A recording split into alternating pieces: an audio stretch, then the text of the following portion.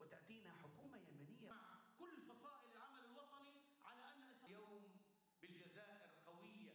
أشكركم جزيل الشكر على الحاضنة المجتمعية التي تدور. هو هذا الجيل. ذكرى عام على طوفان الأقصى وهي مناسبة حية متجددة ولا يزال الدم ينزف في فلسطين ولا تزال دائرة نيران تتوسع في المنطقة ولا تزال أيضا مشاهد البطولة تترسخ. في هذه الأرض المباركة. وذكرى أيضا نوفمبر المجيد بين يدي هذه الثورة الملهمة لنا كشعب فلسطيني وكمقاومة.